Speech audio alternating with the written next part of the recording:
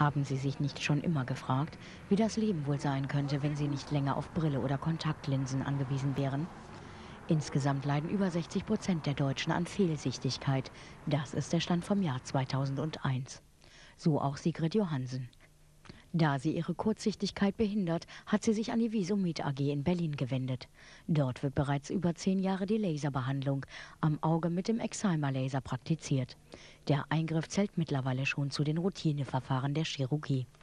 Hier geht es nicht um revolutionäre Heilungsmethoden, sondern um eine Wellness-OP.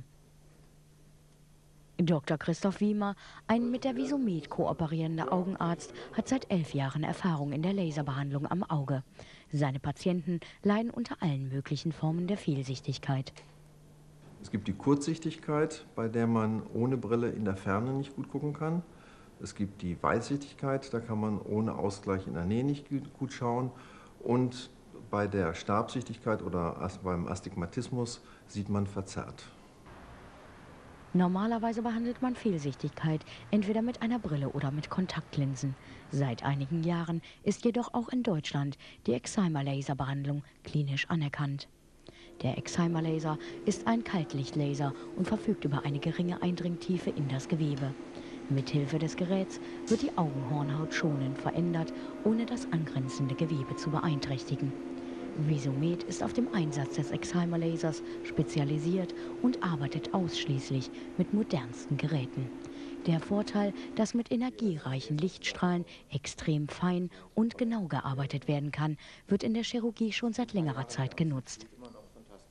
Also es gibt drei verschiedene Verfahren, mit denen man das äh, behandeln kann. Das erste Verfahren und älteste ist die PRK, photorefraktive Keratektomie. Da würde ich heutzutage nur um im Bereich der Kurzsichtigkeit zu bleiben, bis ca. 3 Dioptrien korrigieren. Dann gibt es die LASIK.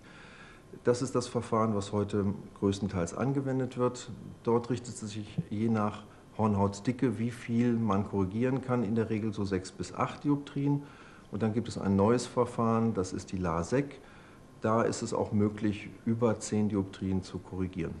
Das Fortschrittliche an dem neuen Verfahren ist, dass die Wundheilung, also die Heilung äh, der Hornhaut, deutlich verbessert ist und damit Gefahren von Narbenbildung oder so etwas so minimiert werden, dass wir auch höhere Dioptrienzahlen behandeln können. Frau Johansen hat sich für die LASIK-Methode entschieden. Pro Auge kostet sie dieser Eingriff 2000 Euro. Für die PRK-Behandlung hätte sie nur 1600 und für die LASEK-Behandlung, die neueste der drei Methoden, nur 1700 Euro zahlen müssen. Voraussetzung für die Therapie ist ein abgeschlossenes Wachstum am Auge. Außerdem ist eine vollständige operationsspezifische Augenuntersuchung mit entsprechender Beratung und Diskussion zu persönlichen Chancen und Risiken ein Muss für alle Patienten. Kontaktlinsen und Brille sollten zu dieser Untersuchung mitgebracht werden.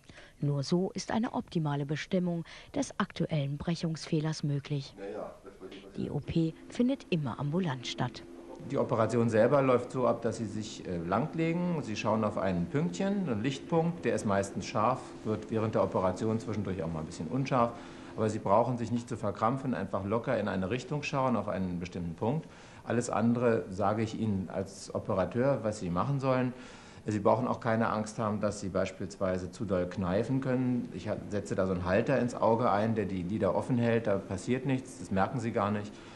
Ähm, beim LASIK-Verfahren, das ist also das Verfahren, mit der, wo die Hornhautlamelle präpariert wird, äh, geht das so vonstatten, dass ich für ca. 15 bis 20 Sekunden kurz einen Ring auf das Auge halte. Das ist der einzige Moment der Operation, den Sie vielleicht als etwas unangenehm empfinden können, weil in dem Moment das Auge kurzzeitig fixiert wird.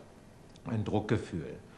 Äh, während dieser 20 Sekunden wird diese Hornhautlamelle präpariert von diesem Gerät und das ist das Einzige, was Sie selbst, wie gesagt, als unangenehm empfinden können. Anschließend äh, schauen Sie weiter auf diesen Punkt, ähm, ohne dass Sie das merken. Das Auge ist betäubt und Sie können es in dem Sinne auch nicht sehen, weil ich ja direkt an der Hornhaut arbeite, klappe ich dann die Hornhaut auf, dann wird das Bild für Sie unscharf.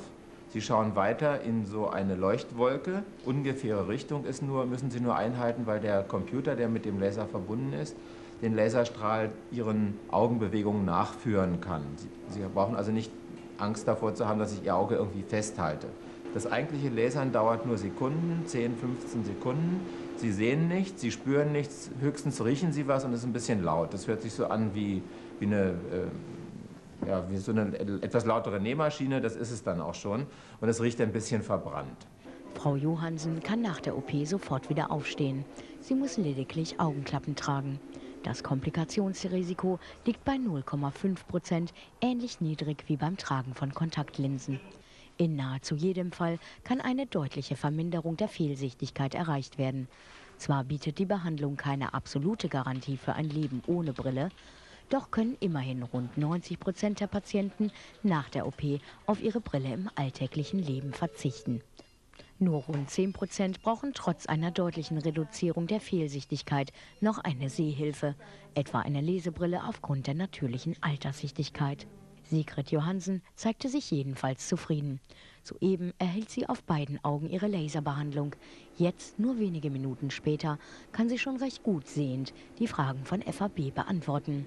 Also unangenehm war eigentlich nur diese Augenaufhalteprozedur mit dieser Spange. Aber also das wurde an sich in dieser Vortragsveranstaltung auch schon so angekündigt und ich habe es mir von vornherein nicht unbedingt angenehm vorgestellt, wenn einem mit so einer Spange das Auge aufgehalten wird. Ansonsten dieser, ähm, dieser Schnitt, der gemacht wird, wo die Hornhaut aufgeschnitten wird, das hat ziemlich gekitzelt eigentlich so ein bisschen im Auge. Also es war nicht unangenehm. Man hat halt nur irgendwie so das Problem, dass man nichts dagegen tun kann in dem Moment, aber also Schmerzen nicht. Und die, der reine Laservorgang ähm, ja, war eigentlich ein bisschen unangenehm, dass es dieser Geruch, als wenn Haare verbrannt werden oder so. Oder, ja, aber ansonsten hat man nichts gespürt, keine Schmerzen. In den ersten Tagen nach der Behandlung finden ambulante Kontrolluntersuchungen statt. Die Sehschärfe ist unmittelbar nach der Operation noch herabgesetzt. Der Heilungsprozess verläuft jedoch meist sehr rasch, sodass das behandelte Auge ohne Sehhilfe schon bald deutlich klarer als das unbehandelte sieht. Bereits nach drei Tagen haben die Patienten die endgültige Sehschärfe erreicht.